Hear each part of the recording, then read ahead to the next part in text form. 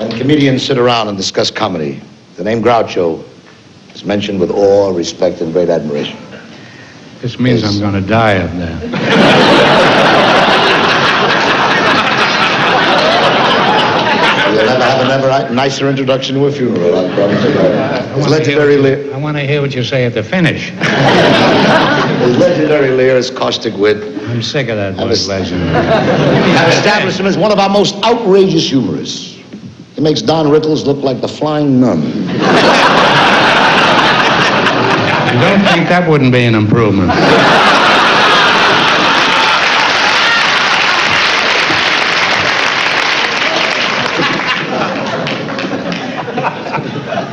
His remarks bear witness to two of the funniest words in the English language. Ladies and gentlemen, Groucho Marx.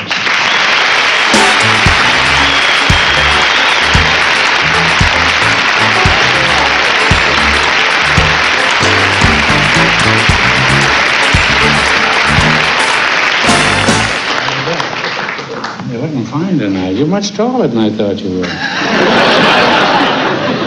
uh, Friars and, and guest of honor, when I was asked to appear here tonight on the Kraft Music Hall to honor Johnny Carson, my immediate reaction was to give up my citizenship and move to Czechoslovakia. I thought they'd yell at that. Deadly silence came over Appomattox. Frankly, I cannot live in a country that will honor a man whose only claim to fame is that from the side he looks like Audrey Hepburn. I thought that it would be deathly silent. You get fooled by lousy speech. Don't worry, your time is coming. Actually, when you're commanded to appear at this kind of a turkey, you, uh, you naturally feel privileged and honored, but in my case, it's ridiculous. I hardly know the man. He's a complete strangler. No, stranger.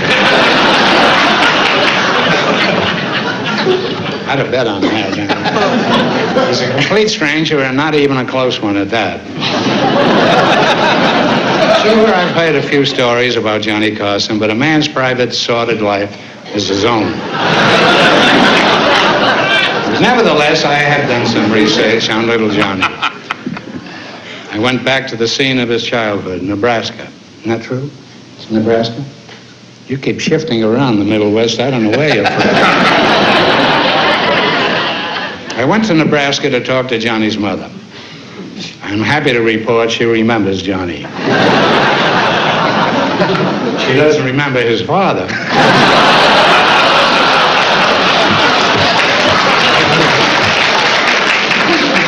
But she remembers Johnny. then I called on his old high school teacher, and I asked her, what kind of a student was Johnny Carson?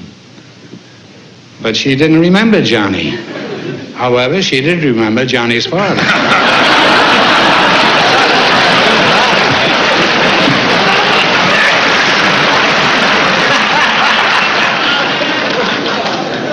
You know, I try to watch Johnny. I, I tuned in three times. One time, Jerry Lewis was the host of The Tonight Show starring Johnny Carson. the second time, Harry Belafonte was the host of The Tonight Show starring Johnny Carson. The third time, I was the host of The Tonight Show starring Johnny Carson. I've never known Johnny Carson to host The Tonight Show starring Johnny Carson.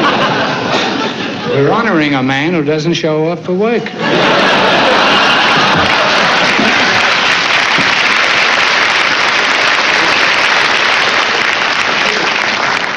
He could be the mayor.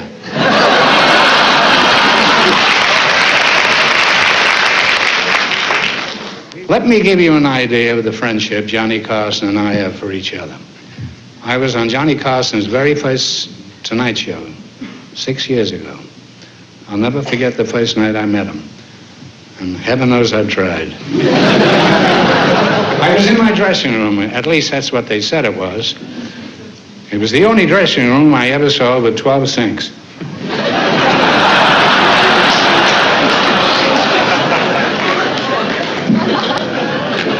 He rushed in, dropped some change in the machine, bought a comb, a nail clipper, got a squirt of perfume, and left. The last time I saw him was about 40 minutes ago. I had the same dressing room. Two sinks had been removed. He came in and said, Boy, am I glad you're here. The nail clipper doesn't work. Well, for, for your information, Mr. Carson, the perfume's worn off, too.